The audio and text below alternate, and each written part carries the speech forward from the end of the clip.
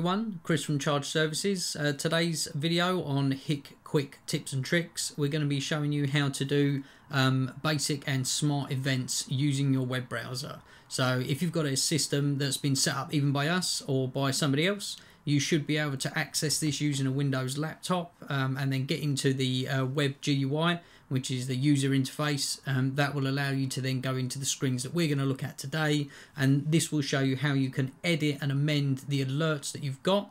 Uh, the, the, screens will be ever so slightly different with certain cameras. Um, in the cameras we're going to be using at the moment, we're going to be using 4 megapixel ColorVu uh, Gen 2 cameras with AccuSense features. Um, it's not going to be specifically about AccuSense features. We'll show you what you can do even if you do not have them. Um, but this will be a good guide for all of those using it domestically and light commercially. Um, it's really for users that want to get alerts through to a mobile device. So rather than getting 100 basic events where you're getting constant motion alerts coming through to your phone, we'll show you a way of trying to minimize those.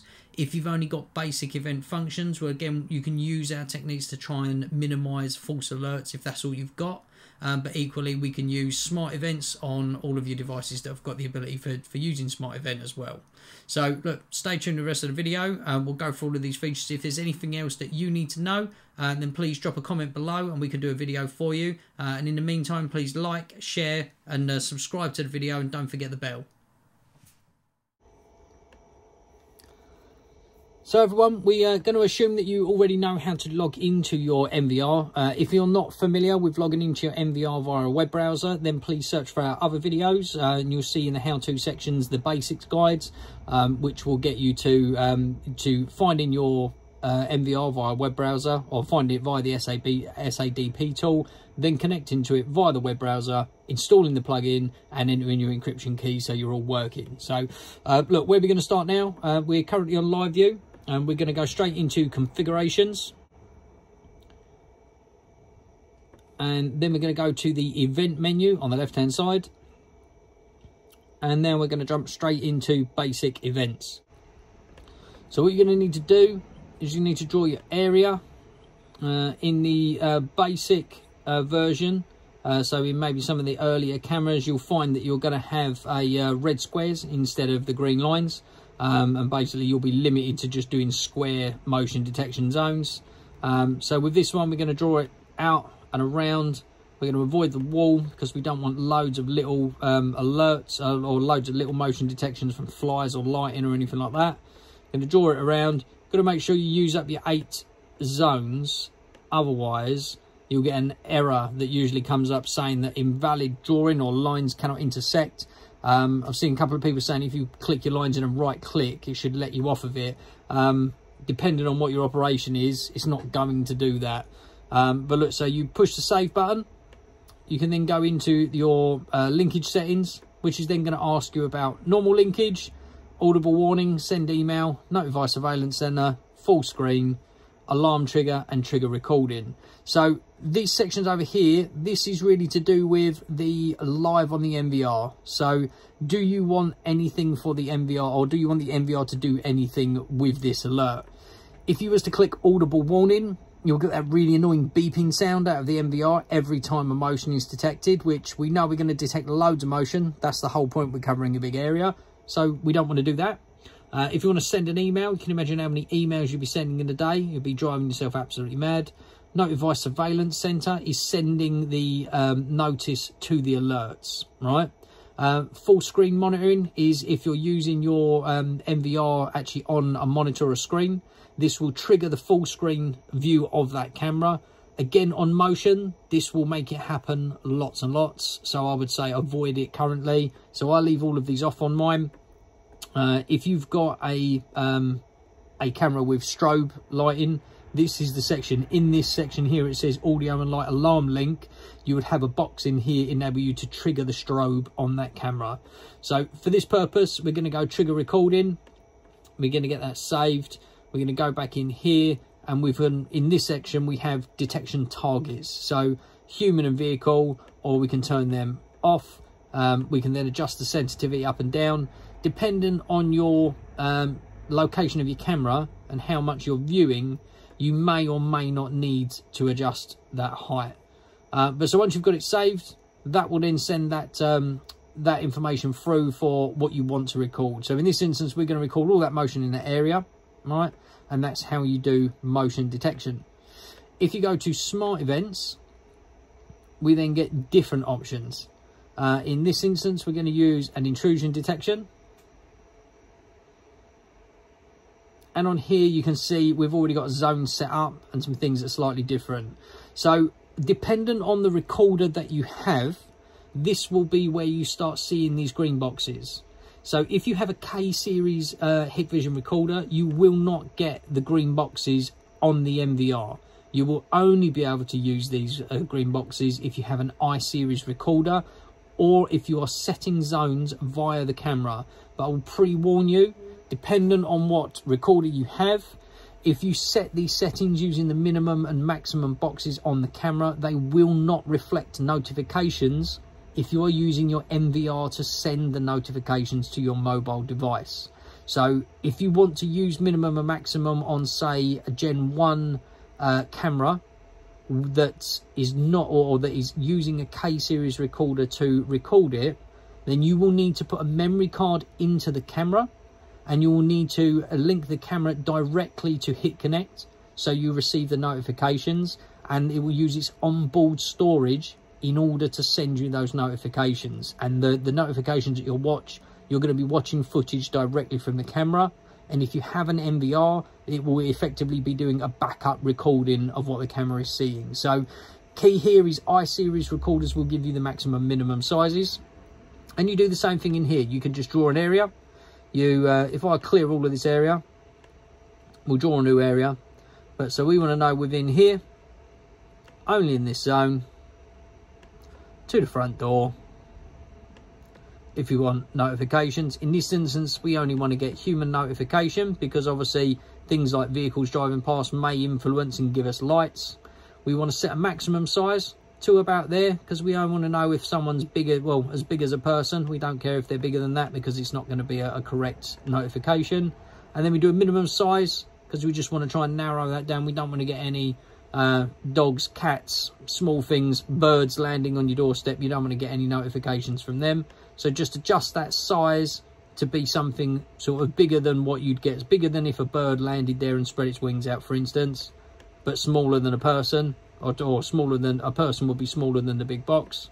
And then you click stop drawing. You can set your threshold sensitivity.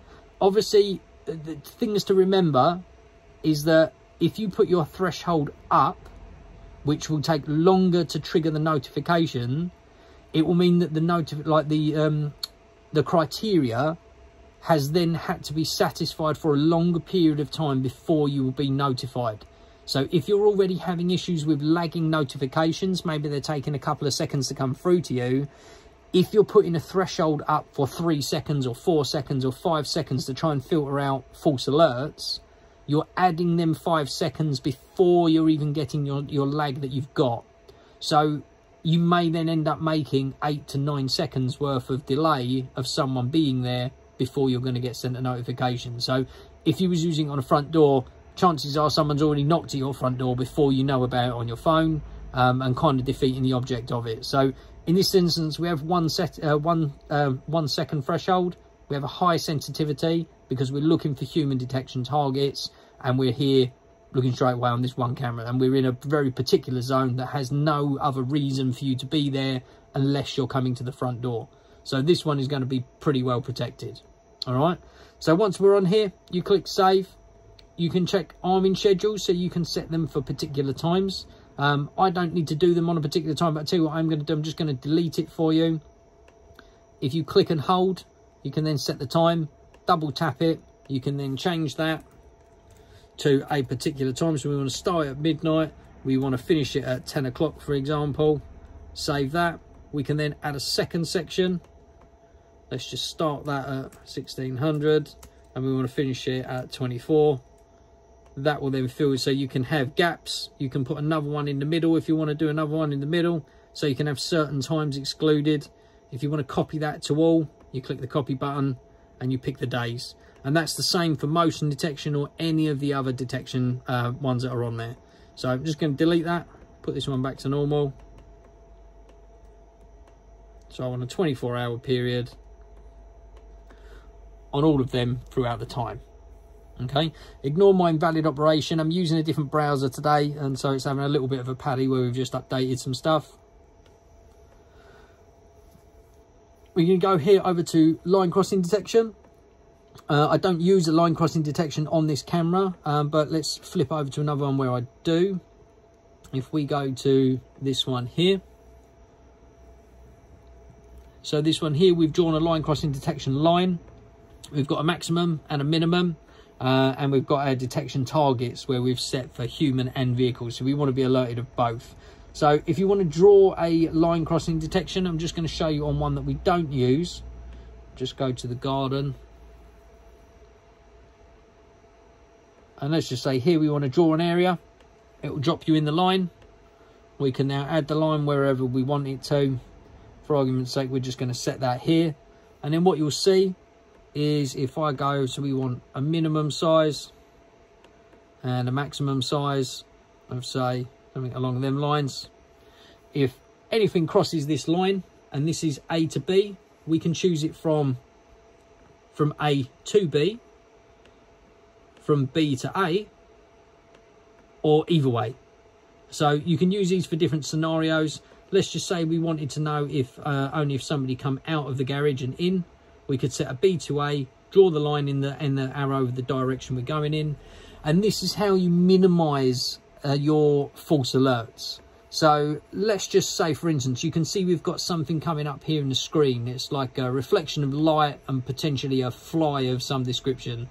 If we was to have a line crossing detection here, like this, I'm going to draw it here just so we're close to the door.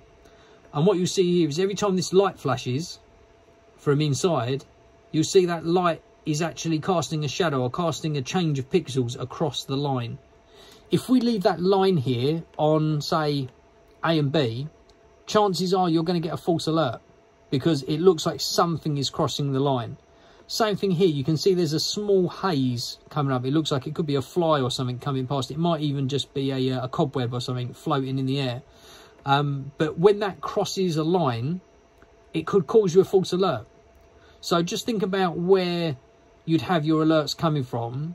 Uh, if you're looking at a protective point of view, as a very good example, down this side, where this patio heater is, you can't you can't come through there, or if you was coming through there, there's no way of getting into this garden realistically without jumping multiple fences and getting in from a different road. So it's very difficult to get here, but you could come over a side fence and then into this uh, garden area.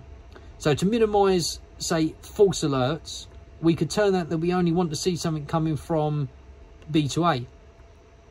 And then if something flies over and comes back or wiggles within the line, we shouldn't get an alert. And then we can adjust the minimum and maximum sizes.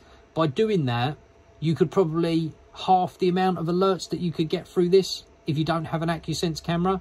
So positioning of the lines using A and B these are key to reducing your alerts. All right, so make sure you do them if you can. Um, and if you haven't got uh, an iSeries recorder, then I, I would say it's probably cheaper to buy an upgrade. If you've got a low a low value K series recorder anyway, upgrading to an iSeries recorder isn't going to cost you a lot of money.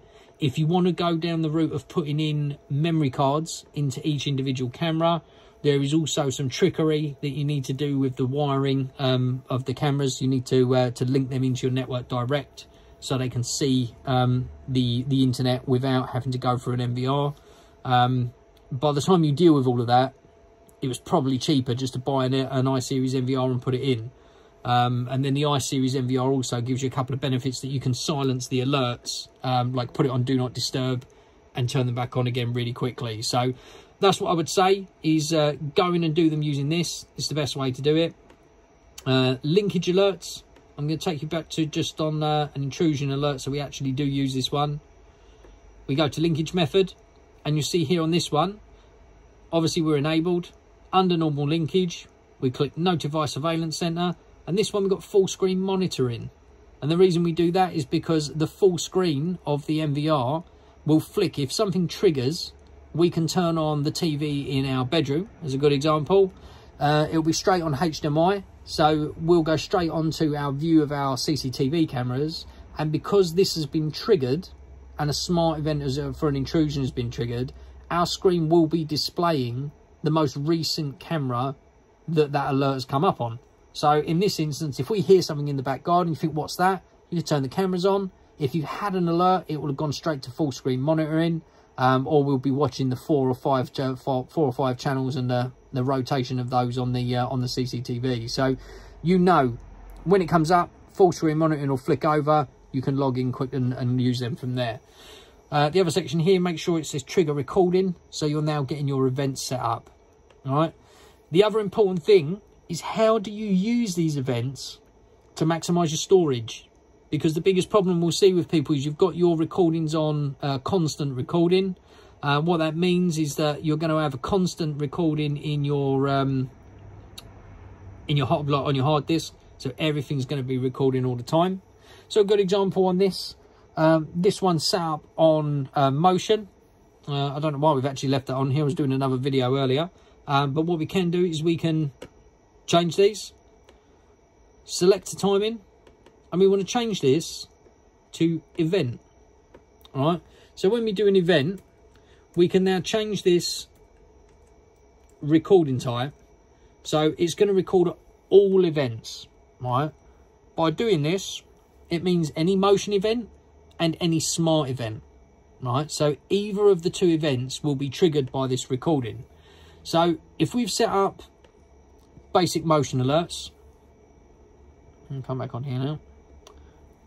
Oh, so I'm playful with this. But so if we have our motion set up in our zones, clear that out, but we will detect all motion within this camera zone. Um, that will then be causing a recording to happen on our uh, storage. And then we'll then also have the smart events will then also cause a recording.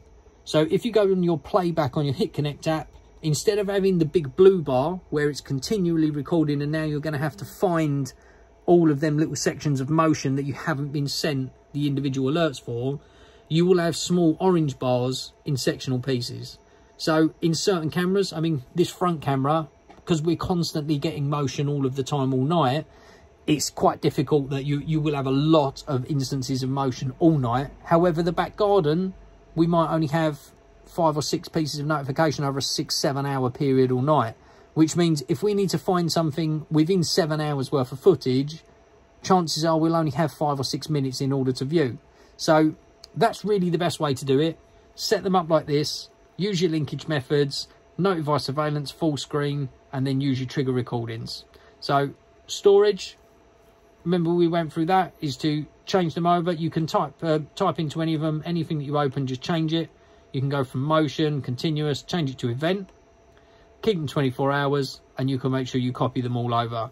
When you're doing it as well, if you're using um, a ColorVu with audio, make sure you go there and tick on uh, record audio and then that will make sure that your actual saved recordings have got audio on them as well rather than just a live view. Um, and then you can change your settings in there for that. Okay, so look, I hope you enjoyed the video. Uh, that should be everything you need in order to use your events and smart events. If you have any questions, please drop them below in the comments. And remember to like, share and subscribe to the channel. Every little one helps. And we'll see you on the next video.